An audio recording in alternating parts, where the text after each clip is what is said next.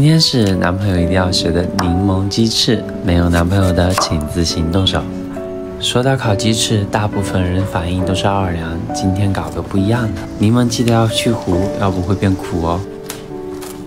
给腌好的鸡翅放上大蒜枕头、柠檬被子，放进烤箱，上下火两百度，让它睡上二十五分钟。这样做出来的鸡翅清爽不油腻，还鲜嫩多汁。